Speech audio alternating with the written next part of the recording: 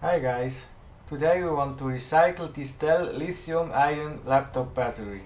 We will also use this T-plug lead and those balancing lead from eBay. The result will be something like this. A lithium-ion battery for RC cars. The first step is to open the housing with the Dremel and the cutting disc. We have to be very careful during this step, so the batteries and the electronics will not be damaged.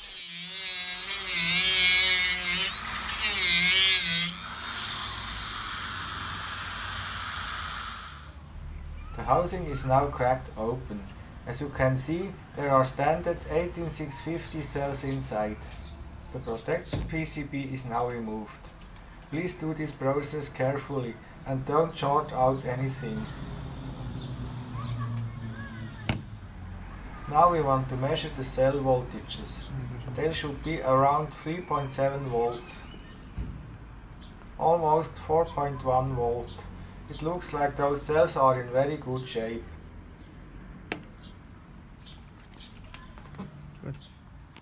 As you can see, two cells are wired in parallel in this laptop battery. So the next step is to carefully separate the welded tabs. Please be very careful that the batteries are not damaged and nothing is shorted out.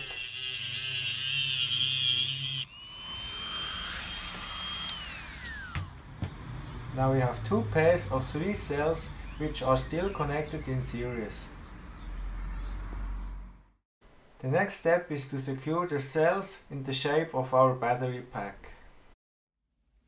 As you can see, I have already soldered the T-plug lead and the balancing lead.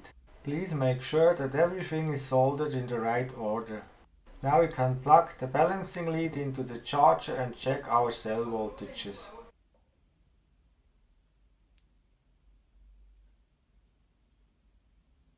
Again, please make sure that everything is soldered in the right order. The leads are now secured with zip ties.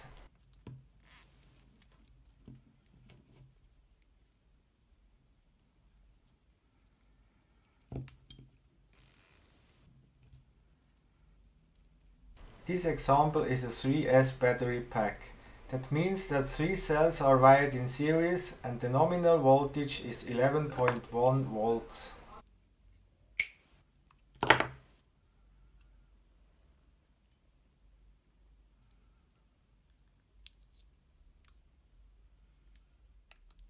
After we are sure that everything works fine, the battery pack is secured with reinforced tape.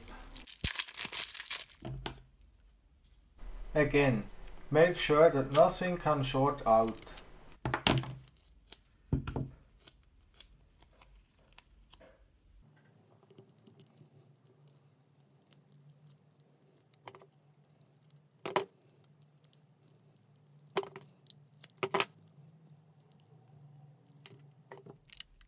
That's it. This 3S battery pack is finished.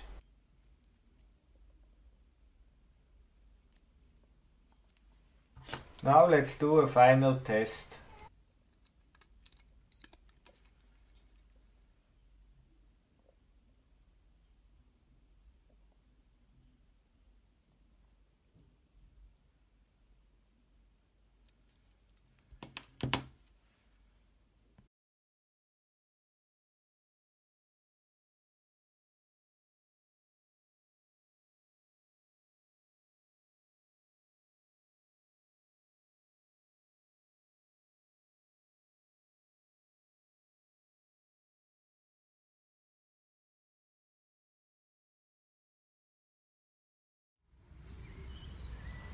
If you like this video, hit the subscribe button and turn on notifications.